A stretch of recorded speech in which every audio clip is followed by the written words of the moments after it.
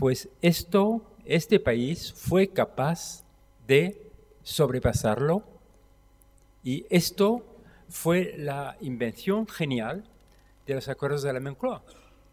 Eh, entonces, sindicatos y patronato que no se habían hablado desde 50 años, si, si hubiesen hablado antes, eh, se sentaron juntos y finalmente inventaron una forma de cooperación que duró durante decenios y que el mundo entero les ha envidiado. En España el derecho laboral es producto de negociación entre la patronal y los sindicatos y el Estado solamente vino en ratificando esto. Pues esto fue magnífico. Y esto fue parte de un, desde luego, de acuerdos más amplios eh, que han puesto este país en el carril hacia un nuevo, nuevo modelo, una nueva sociedad, un nuevo paradigma. Y no me puedo impedir de pensar que sería hora hoy también de algo semejante. Vi que Su Majestad el Rey lo ha propuesto, lo ha pedido. Veo también que son muchos los que entran en esto a regañadientes. Me parece que valdría la pena que todos estos pensaran, lo pensaran otra vez más y que se preguntaran dónde no solo el interés de sus partidos, que siempre es importante, pero el interés de la patria, del patriotismo, les debería de llevar. Porque me parece que España va a salir de esta crisis, pero saldría más rápido, con más fuerza, con más pujanza, si fuese capaz de entrar junta en esto. Es fácil decirlo cuando uno es francés y en particular cuando en Francia esto no se hace, pero lo pienso como amigo de su país y eh, teniendo en mente esta capacidad de su país de sobrecogerse y de salir juntos adelante. Al fondo tenemos un señor que lleva una camisa de rayas, ¿lo ve? Señor de camisa de rayas. Cuarta pregunta. Buenas tardes. Agradecerle su pedagogía en sus explicaciones, profesor, porque hemos aprendido muchas cosas con usted. Y varias preguntas. Una es, la administración, yo más que ser un banco, digamos, nacionalizado, ¿no cree que debería ser un inversor en ciertas empresas estratégicas, tanto a nivel local como a nivel nacional? Como un ejemplo podría ser una empresa de automoción que mm, varias veces pide dinero a la administración bajo la amenaza o la coacción de eliminar a personal. ¿No sería mejor hacer como hizo Merkel, accionar a esa empresa y poner gente de su confianza o del gobierno para ayudar a administrar a esa empresa en sus acciones eh, de trabajo? Eso tanto se puede hacer a nivel nacional como a nivel local. Luego, otra cosa más. Eh, evidentemente, con eso ayudaremos mucho al talento, ¿no? las empresas pequeñitas que empiezan, si en vez de darte, un, en vez de darte un, crédito blando para que empieces y a ver cómo lo haces, te ayudarán de una manera accionarán, es decir, yo te apoyo, pero cuidado, me tienes que dar resultados. La segunda parte también sería el tema de los recursos y beneficios que obtienen las empresas, como ha pasado con la burbuja inmobiliaria, que durante 10, 15 años han obtenido unos dividendos brutales. Bancos, administraciones, empresas, ¿dónde se han redistribuido? ¿En los bolsillos de los señores? ¿A nivel social? ¿En creación de nuevos puestos de trabajo? ¿En qué? ¿No? Esa, parte ética que usted dice. Y luego la pregunta final es, ¿ética y dinero no es una contradicción? Eh, bueno, tomo la última inmediatamente para no olvidarla. Eh, ay, me da gracia, les voy a contar otra anécdota. Eh, figúrense, el Fondo, Monetario Internacional, desde luego, como saben todos ustedes, es el chivo expiatorio para todo lo, que no, gusta a la gente, ¿no? Y en, muchos países en desarrollo, pero también en el mío, eh, al fondo se le odia y se le ve como el agente de la, de la plutocracia internacional, lo que quieran.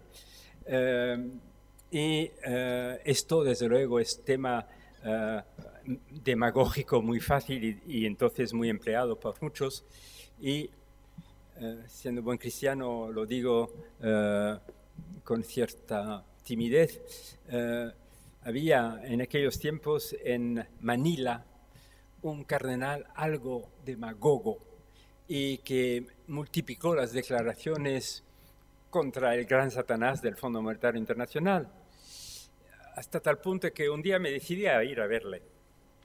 Y eh, le dije, Eminencia, esto no es posible, ¿no? La verdad primero, ¿eh? servir la verdad. Eh, y empezamos discutiendo. Y bueno, pasar media hora, tres cuartos de hora, nos fuimos haciendo amigos y, él me dijo, mira, eh, primero tú tienes que saber que me, meto con las cosas de dinero por una razón eh, eh, genética. Mi nombre en chino, su eminencia reverendísima, el cardenal Sin, mi nombre Sin en chino significa dinero y en inglés pecado. O sea que yo estoy ahí a la, a la a la conexión de los dos temas. Pero yo soy viejo como lo es y eh, yo aprendí en el seminario cuando aún había curas salesianos, me parece, que dirigían españoles los seminarios en uh, Filipina. Y eh, ellos nos aprendían algo de, de español y en particular saber de memorias unas cuantas estrofas de Teresa de Jesús. Y recuerdo una, te la voy a decir. Excremento del diablo, plata es. Para esta tierra, buen abono. Dinero y ética, pues eso es, hacer del dinero no un amo, no nuestro maestro, sino un buen servidor de la economía y de los hombres. Esto recordando a su eminencia reverendísima, el cardenal Sin y Teresa de Jesús. Ahora, eh, eh, la, cuestión número uno, eh, ¿cómo hacer? ¿Qué papel el Estado puede tener para que las empresas, sin tener que nacionalizarlas, sirvan al bien común. Aquí eh, se pueden imaginar muchas cosas y eh, usted ha dicho, eh, ha mencionado algo que se hace en mi país, el Estado crea un fondo soberano, se podría decir, y este invierte con espíritu público, pero al mismo tiempo de, digamos, de estrategia industrial, invierte, presta, apoya, eh, garantiza lo que sea. Bueno, esto se puede hacer, eh, se hace en muchos países, es muy difícil. Y sabéis muy bien aquí en España que cuando el, Estado tiene estos instrumentos en, manos, eh, frecuentemente las usa, las usa, bien, pero a menudo las preocupaciones políticas pasan antes de las de la eficacia económica. Y el Estado que no sabe más de industria que los industriales puede cometer errores formidables y eh, este tipo de economía intervencionista en mi país es, un cementerio de fracasos, excepto algunas decisiones importantísimas y felices como fue la opción nuclear o algunas de, esas, de estas. ¿no? Es difícil el tema. Eh, depende mucho en las culturas nacionales, en, las tradiciones de relaciones establecidas entre el Estado y, el mercado, el Estado y la industria. Los alemanes en esto eh, nos dan un modelo que, han sido, que ha sido muy beneficioso con la economía social de mercado.